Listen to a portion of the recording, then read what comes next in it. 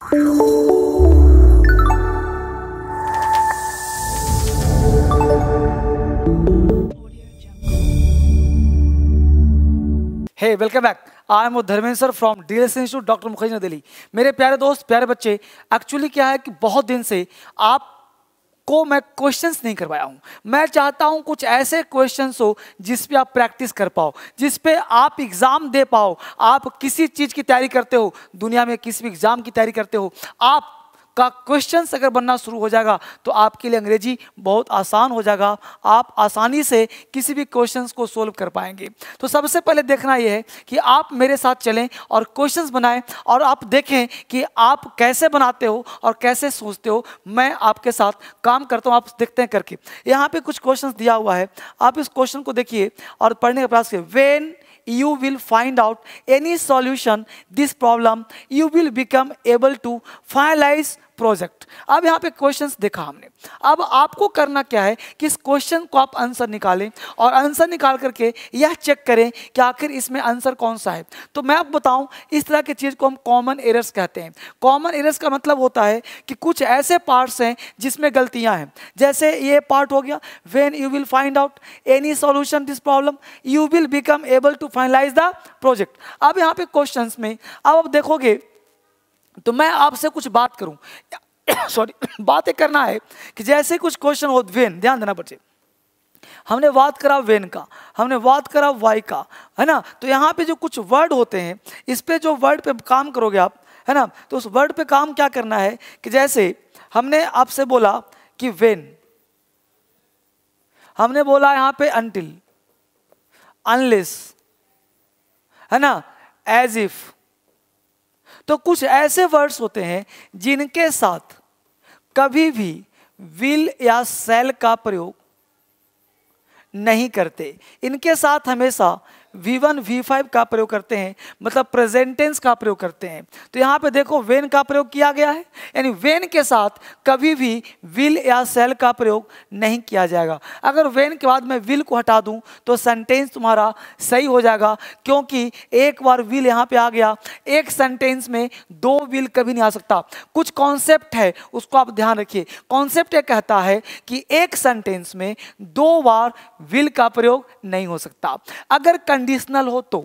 यानी सेंटेंस अगर मैं कहूँ कि यदि तुम पढ़ोगे तो पास करोगे तो हमने बोला if you will read you will pass तो ये हमने गलत बोला। इफ़ यू विल रीड नहीं हो सकता। अगर मैं सेंटेंस बोलता हूँ कि इफ़ यू विल रीड है ना? और यहाँ पे मैं कहूँ यू विल पास तो ये सेंटेंस गलत हो जाएगा, क्योंकि इफ़ के साथ विल का प्रयोग नहीं होता ये ध्यान रखने वाली बात होती है। तो if you will rainy if you read you will pass ऐसा हो सकता है। तो इस तरह से हम कॉन्सेप्ट क्लियर कर सकते हैं। तो आपने देखा यहाँ पे कि इफ़ के साथ वेन के साथ अंटिल के साथ अनलेस के साथ विल या सेल का प्रयोग कभी नहीं किया जाएगा। तो यहाँ पे गलती समझ में आपको आगे बच्चे, कहाँ पे गलती हुआ?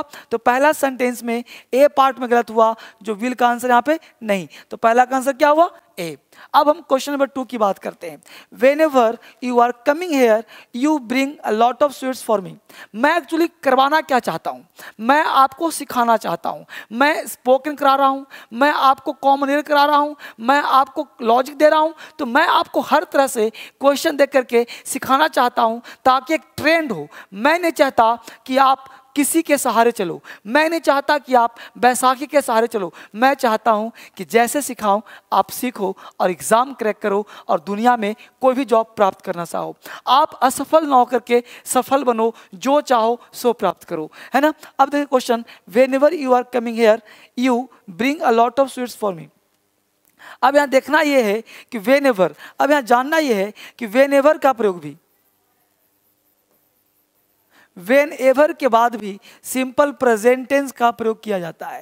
यानी इसके बाद भी वी वन या वी फाइव का प्रयोग करते हैं। तो whenever you are coming नहीं, क्योंकि जब तुम यहाँ आते हो whenever you come here you bring a lots of sweets for me यानी जब तुम यहाँ आ रहे हो, अब जब कभी तुम आते हो कि आ रहे हो आते हो ना, जब कभी वह आता है, वो खेलता रहता है। जब कभी तुम जाते हो, दौड़ते रहते हो। जब कभी वह पढ़ता है, हंसता रहता है। तो जब कभी तो वेन एवर का मतलब क्या हुआ? जब कभी। तो जब कभी तुम यहाँ आते हो whenever you come here you are coming नहीं। वेन एवर यू कमिंग की जगह हमको कम करना पड़ेगा। Whenever you come here यहाँ पे करेंगे क्या? तो ध्यान में फिर से। Whenever you are coming are coming को काट दिया। और बोलेंगे whenever you come here you bring a lots of sweets for me बात समझ मारा बच्चे सबको? तो whenever you come here तो पहला का आंसर देखा था ए जो कि विल नहीं लगेगा। दूसरे का आंसर देखा बी जो कमिंग नहीं होगा। Question number three Galileo said that the earth went round the sun अब यहाँ देखो रूल कहता है कॉन्सेप्ट कहता है कि यदि पहला क्लाउज पास टेंस का हो, पहला क्लाउज पास टेंस का हो तो आने वाला क्लाउज भी पास टेंस का ही होता है। यदि पहला क्लाउज पास्ट टेंस का हो तो आने वाला क्लाउज भी पास्ट टेंस का ही होता है। पहला क्लाउज पास्ट का हो। पास्ट का है तो आगे भी देखो पास्ट का है। बिल्कुल सही होना चाहिए। नहीं, गलत होगा। क्यों गलत होगा? तो ध्यान दें बच्चे Galileo said the earth went round earth पृथ्वी, सूर्य के चारों तरफ़ चक्कर लगाती है। तो ये बताओ मुझे सोच करके कि सूर्य का चक्कर लगाना यूनिवर्सल ट्रूथ है या मेरे कहने से हो रहा है? यूनिवर्सल है ना? तो जो चीज़ एटर्नल ट्रूथ हो, जो चीज़ यूनिवर्सल ट्रूथ हो, वो हमेशा प्रेजेंट टेंस में होता है। तो बोलो, यहाँ पे वेंट राउंड होगा कि गोज राउंड होगा? है ना? तो the earth goes round the sun the earth goes round the sun तो हमने क्या बोला? Galileo said that the earth goes round the sun इस तरह से हम काम करने का प्रयास करेंगे। क्वेश्चन नंबर फोर में देखो। I have come to know that your father has died last week actually क्या है? क्वेश्चन हम पकड़ें कैसे? किसी भी क्वेश्चन को आप कैसे सोल्व करें? किसी भी प्रश्न को आप कैसे देखें? आपके देखने का नज़रिया बदलना चाहिए। तो हमने कहा I have come to know that your father has died last week यहाँ पे कीवर्ड है। हर क्वेश्चन में एक कीवर्ड होता है। उस कीवर्ड को पकड़ना होता है, तभी आप पकड़ पाओगे। तो I have I have come to know that your father last week यहाँ पे लास्ट वीक एक कीवर्ड हो गया। तो आपको पढ़ाया था कि लास्ट का, अगो का, हमने क्या पढ़ाया था? हमने पढ़ाया था कि लास्ट हमने पढ़ाया था एस्टरडे हमने पढ़ाया था अगो है ना? हमने पढ़ाया था बिफोर यानी कुछ ऐसे शब्द हैं लास्ट स्टरडे अगो बिफोर इन सारे शब्दों का प्रयोग, किनका? लास्ट का स्टार्डे का, आगो का बिफोर का, इन सारे शब्दों का प्रयोग हम लोग अक्सर कहाँ करते हैं बच्चे? तो इन शब्दों का प्रयोग करते हैं सिंपल प्रेजेंट टेंस में। सॉरी इन सारे शब्दों का प्रयोग करते हैं सिंपल पास्ट टेंस में। तो सिंपल पास्ट में करते हैं और यहाँ पे ध्यान दो तो लास्ट वीक हैज़ लगाया है। यानी अगर हैज़ को उड़ा दें तो डाइड हो जाएगा सिंपल पास्ट यानी वी हो जाएगा तो ये हो जाएगा सिंपल पास्ट टेंस अब सेंटेंस तुम्हारा सही हो जाएगा। यानी लास्ट वीक तो रहेगा ही रही, यानी सी पार्ट में अगर हैज़ को उड़ा दें तो सेंटेंस तुम्हारा बिल्कुल सही हो जाएगा। क्लियर हो कॉन्सेप्ट तो हमने क्या कहा? I have come to know that your father died last week तो यहाँ पे नंबर चार का आंसर कौन सा हो जाएगा? सी हैज़ उड़ा देंगे सेंटेंस राइट हो जाएगा। अब हम आगे बात करते हैं। क्वेश्चन नंबर नेक्स्ट की। अब यहाँ नेक्स्ट क्वेश्चन देखने के लिए मैं क्या करूँ? आगे देखिए। Question number five many of my friends wish to come here today but none of them arrive at अब यहाँ जब आप जानोगे बच्चे तो हमने कहा many of my friends wishes to wish to come here today but none of them arrive at अब यहाँ पे हमने क्या कहा कि हर क्वेश्चन में एक कीवर्ड होता है। दुनिया में ऐसा कोई क्वेश्चन नहीं जहाँ कीवर्ड ना हो। तो यहाँ पे कीवर्ड क्या है बालक? एट एट क्या है? एक कीवर्ड है। इस एट को ध्यान देना। इस एट या जो एट जो वर्ड है एट का प्रयोग करते हैं प्रेजेंट परफेक्ट ध्यान देना। एट का प्रयोग हम लोग करते हैं प्रेजेंट परफेक्ट टेंस में। इस एट का प्रयोग करते हैं हम प्रेजेंट परफेक्ट टेंस में। अब प्रेजेंट परफेक्ट टेंस एट का प्रयोग करते हैं और नॉन ऑफ़ देम हो गया सब्जेक्ट और अराइव्ड हो गया वी टू अब बताओ, ये सिंपल पास्ट है कि नहीं?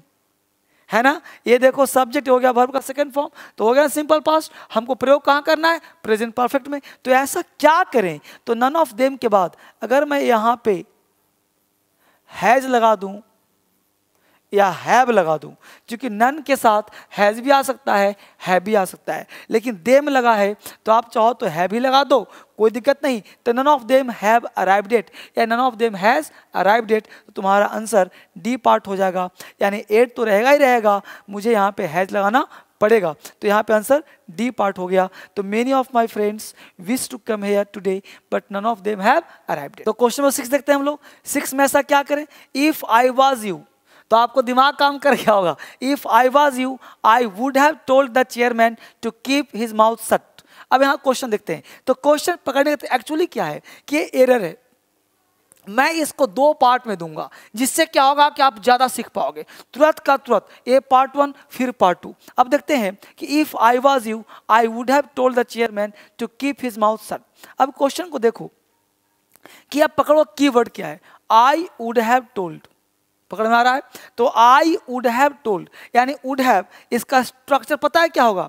इसका स्ट्रक्चर इस तरह से होगा कि if plus subject plus had plus V three other word subject plus would plus have plus V three plus other word ये हो गया इसका स्ट्रक्चर अब यहाँ ध्यान बच्चे, कि इफ़ हैड चूँकि यहाँ पे वुड हैव लगाया है तो जब वुड हैव यहाँ पे लगाया है तो वुड हैव तो यहाँ मिल गया हमको देखो would have plus V three जब would have plus V three हमको मिल गया तो हमको चाहिए था हैड प्लस वी थ्री तो अब प्रश्न उठता है, अब बहुत बच्चा तुम्हें सोच रहा होगा कि सर वाज को काट के वर कर दें तो आंसर आ जाएगा। तो बेटा, वाज को काट के अगर आप वर करोगे तो आंसर नहीं मिलेगा, क्योंकि वर करने से आंसर नहीं आ रहा। क्योंकि वर करेंगे तो आगे उड़ैब दिया हुआ है। तो उड़ैब करना तो कौन कॉन्सेप्ट क्लियर नहीं होगा। तो यहाँ पर ऐसा क्या करें कि मामला खुलकर आ जाए। तो यहाँ पे भीतरी लगा हुआ है तो इस भीतरी को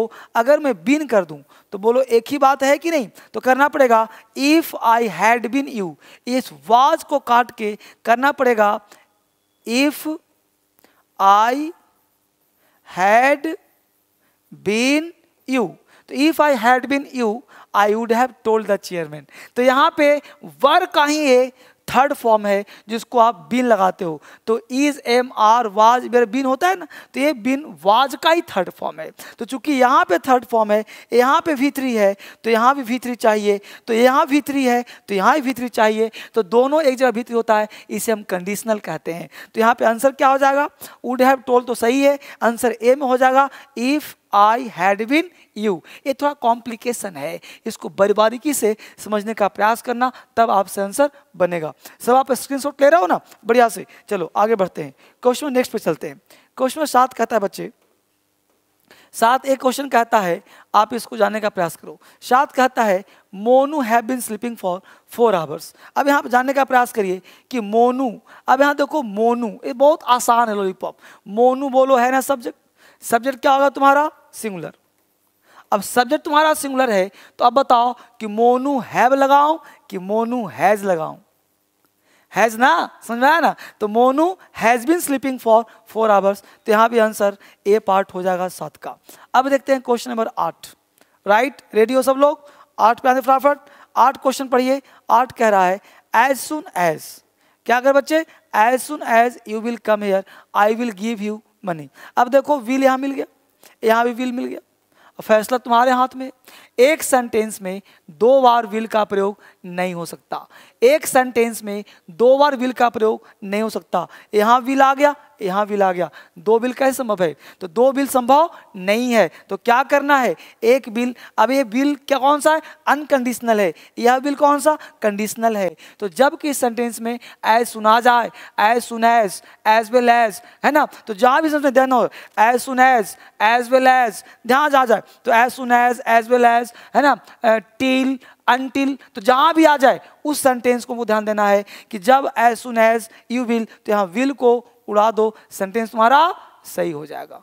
क्लियर हुआ कॉन्सेप्ट आगे चलते हैं। अगला क्वेश्चन नाइन कहता है, वो ध्यान दीजिए। क्वेश्चन नाइन कहता है, बच्चे, कि the old man who is sitting यहाँ पे ध्यान देना है कि द ओल्ड मैन ध्यान बच्चे the old man sitting in that room lived here for more than a month but he has never created any problem अब यहाँ बच्चे, कि the old man sitting in that room अब इस question को हम कैसे बनाएँ?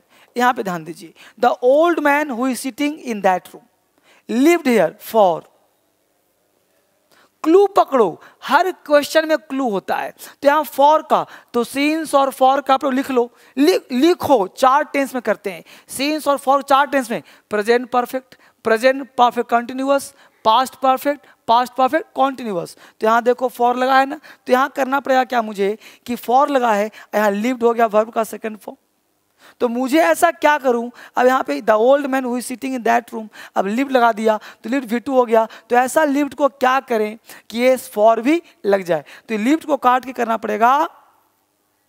हैज़ बीन लिविंग क्या करना पड़ेगा? Has been living for here for more than a month तो यहाँ पे आंसर हो जाएगा। Has been living B part में आंसर इसका। हो जाएगा। समझ में आ बच्चे? मैं यहाँ बार बार मिटा रहा हूँ। इसको आप पीडीएफ डाउनलोड करना कहाँ? टेलीग्राम पे जाकर। इसका पीडीएफ टेलीग्राम पे जाकर के इस को आप डाउनलोड कर लेना ताकि आप दोबारा इसको फ्रेश बना सको। मैं आपके लिए ही टेलीग्राम बनाया हूँ ताकि आप इसको डाउनलोड भी कर पाए। राइट बच्चे? अब देखते हैं अगला क्वेश्चन। अगला क्वेश्चन कहता है बालक और वो क्वेश्चन तुम्हारा है last question the thief was caught after he has dispose of the stolen goods अब यहाँ ध्यान दो बालक। यहाँ पे कह रहा है the thief was caught the thief was caught simple past तो ध्यान देना बेटा, दो कॉन्सेप्ट एक कॉन्सेप्ट है, वो ध्यान देना कि बिफोर के बाद हमेशा वी टू आता है। और दूसरा कॉन्सेप्ट रखना कि आफ्टर के बाद हमेशा वी थ्री आता है। अब यहाँ ध्यान दो कि आफ्टर के बाद देखो तो क्या लगाया हैज़ वी थ्री तो है तो बोलो वी थ्री तब आता है जब हेड आता हो। राइट तो ये बताओ कि आफ्टर हैज़ हुआ कि हेड होगा? हेड होगा। तो ध्यान देना आफ्टर ही डिस्पोज तो इस तरह से ये हमने पार्ट वन दिया। ये नेक्स्ट क्वेश्चन जो है, आपके लिए छोड़ा हूँ क्या आप इसको तुरंत क्योंकि एक ही करूँगा तो लंबा हो जाएगा। तो लंबा करना अच्छा नहीं है। अब दिल्ली भी दूर नहीं है। आप दिल्ली आना चाहते हो तो दिल्ली आकर मेरे सामने पढ़ सकते हो। इसके साथ साथ आप चाहो। तो घर पर डीएसएल इंग्लिश ऐप डाउनलोड करके भी आप क्लास ले सकते हो, पूरा क्लास घर बैठे। इस तरह से आप जो नेक्स्ट क्वेश्चन है, इस क्वेश्चन को मैं कराऊँगा अभी आपके सेकंड पार्ट में, जो कि आप देख सकते हो। यहाँ दस तक हो गया, अब आप आ जाइए नेक्स्ट वीडियो के लिए और यहीं पे आप तुरंत देखना इसका part two A part one और दूसरा पार्ट टू ठीक है? फिर मिलते हैं हम लोग पार्ट टू में।